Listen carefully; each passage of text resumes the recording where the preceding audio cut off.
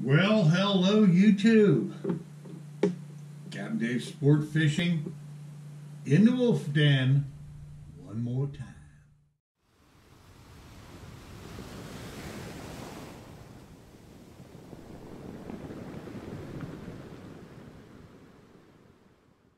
And what do I have for you? Well, to start off with, I got one of my favorites the Bubba Blade. Bubba Blade. I got that to sharpen. And a new addition to the Wolf Den is I've got my. This is my sharpness tester. First time I ever saw one was on. Okay, there goes a piece falling off. I saw this on uh, Project Farm. You know, the guy who destroys all the lawnmower engines. This belongs to a YouTube viewer here locally in Jacksonville, Florida. Good old Mike came on over and dropped these off for me to sharpen for him. Test that on the um, on the sharpness tester. Uh, this Bubba is uh, they call this a semi semi flexible knife. It's got most of its flex right at the tip. It's not bad, but it's not good either. You want a bit of a toothy edge. This isn't the kind of knife that you're going to be putting some super mirror finish on.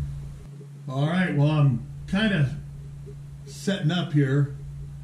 One thing I wanted to mention guess what? I didn't know, but Mike told me that when he was a teenager in California, he worked at the Buck Factory in El Cajon, California, as a grinder, grinding knives.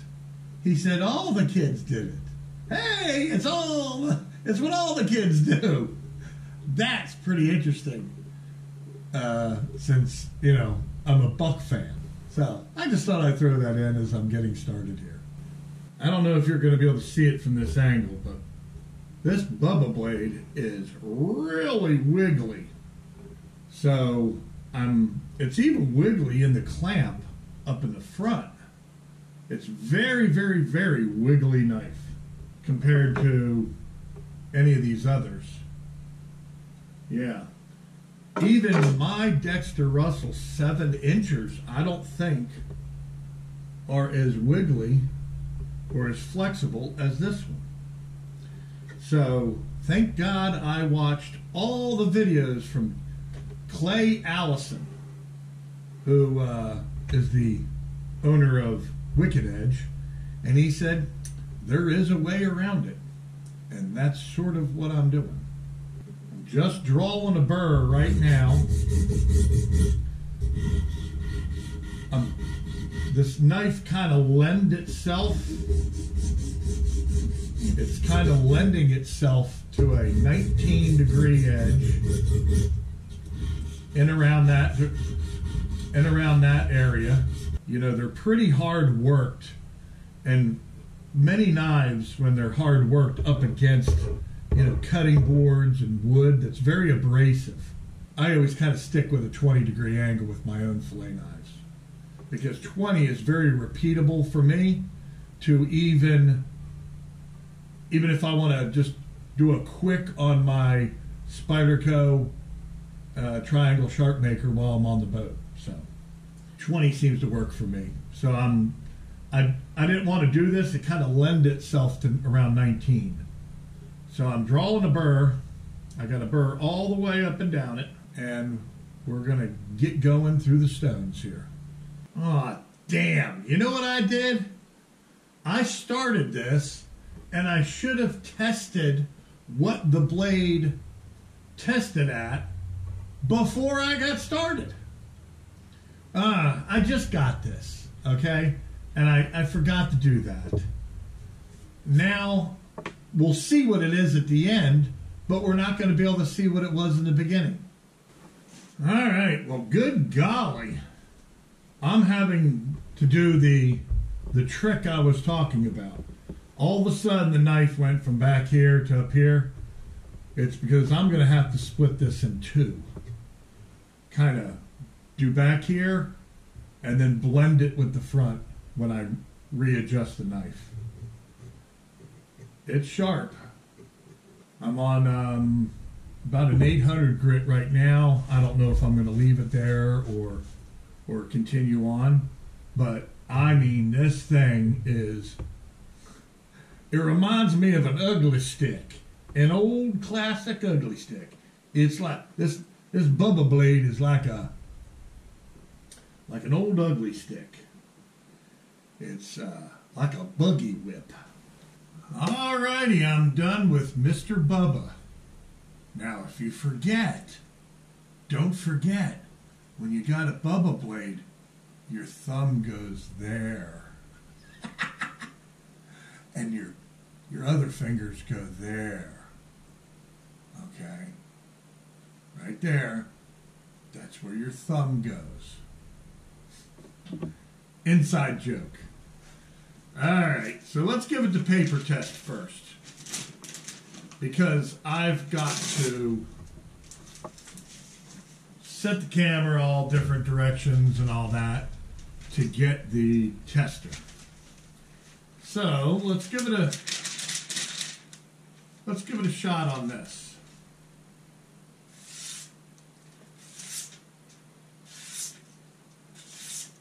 Is that good enough to clean a fish? I certainly hope so. This is a fillet knife, and it was a kind of a pain to uh, to do there, and it had to break it into sections.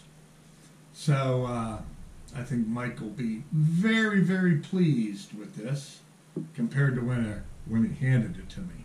So let me set up my sharp sharpness tester, move the camera around and do all that good stuff, and we'll check it out.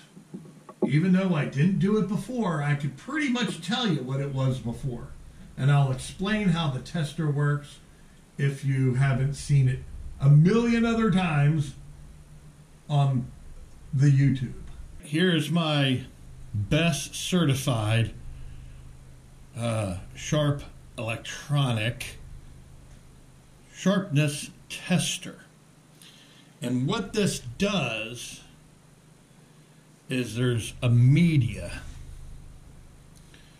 I'm not sure. I'm trying to get as I'm trying to get as much light as humanly possible here.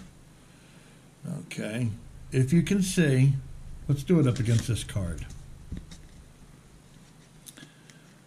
There is a little tiny, tiny little string right there. That's called the sharpness tester media. It's almost like monofilament. So there's a cartridge in here full of this material, and it comes out of this hole right there.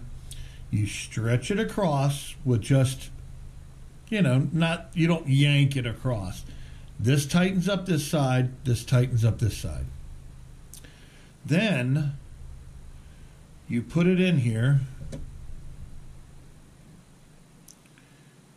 And then you've got this is a magnet, and this is your fulcrum. And you'd line these two up, or for a bigger knife, you can move it out here, even. And this is a scale that measures in grams, okay? And then what you do is we're going to take the knife, we're going to stick it in here as our fulcrum, and we're going to go down and put pressure against that sharpness media, and it's going to tell us on the scale what it's set at. Okay, what it what it measures. And here is let me try to get as much light as humanly possible. And this is how it measures. Down here, 0 to 100 is a double edge razor blade. Okay? Then from basically it says utility razor right there. We all know what that is. The one-sided razors would be about 150 to 200. But see that double-edged razor blade? That's actually right in there at 50 to 70 is what that would actually be. So 50 to 70, then there's that little bit above it. I actually need a pointer. Then there's this little bit right here. There's a little gap, little bit behind, above it, and then it reaches 100. Then from 100 to about 150 is in a really good range.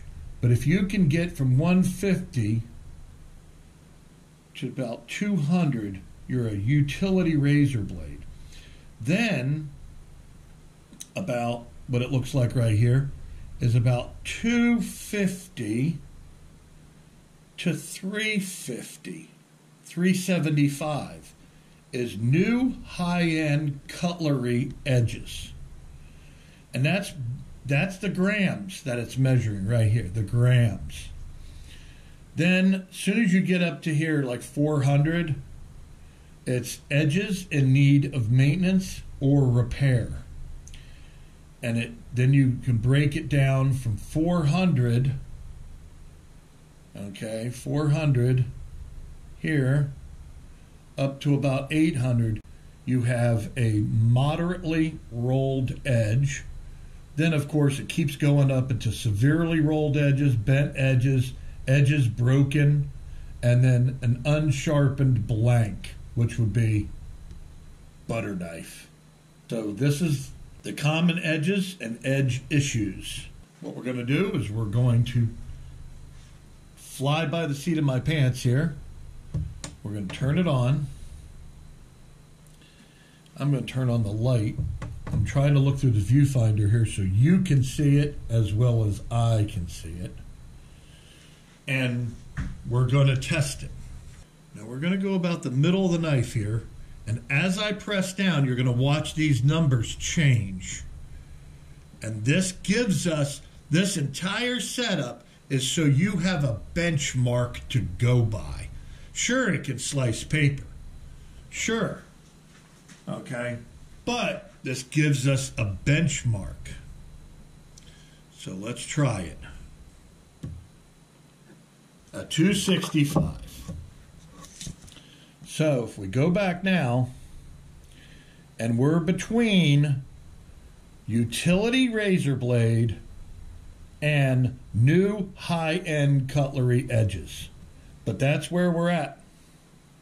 I believe that 100% utility razor blade. We're just above that and just below high-end cutlery. We're we're just right there. I mean, that would be like 250 and getting into the new high-end cutlery. So that's actually what this is. This is 100% believable that it's high-end cutlery edge, which is, you know, usually factory or better. So that's what we got here, folks. And I think Mike will be very happy with that. And I've got one, two, four more to do. But I wanted to get this Bubba blade first in. I wanted to get it done and get it out of the way because I know that these fillet knives, because I did like six of my own, they're quite wiggly. And I knew that one was going to, I knew this one here was going to be the challenge. So thanks for watching. I've got some buck knife. I'm not going to call them reviews. I'm going to show and tell. So I've got some some buck stuff coming up, and that'll be Monday, Monday or Tuesday, possibly, is when that video may come out. So if you're a Buck fan and you just want to see some other bucks because that's what I do as a buck fan. You'll be able to uh, see my new procurements. So thanks for watching. Thanks for stopping by. And I'll see you next week.